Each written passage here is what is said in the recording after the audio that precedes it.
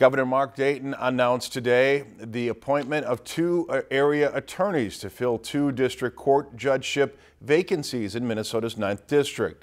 Annie Claesson Huseby, the current Beltrami County attorney, was appointed to fill a new judgeship recently created by order of the Minnesota Supreme Court and will be chambered at Bemidji in Beltrami County.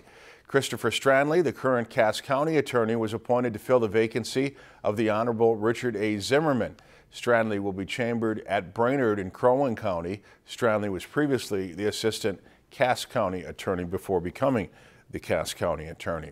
Now, Cass County Administrator Josh Stevenson tells Lakeland News that if Strandlie accepts the judgeship and resigns, state statute says the first assistant county attorney would take over the role as county attorney until the vacancy is filled.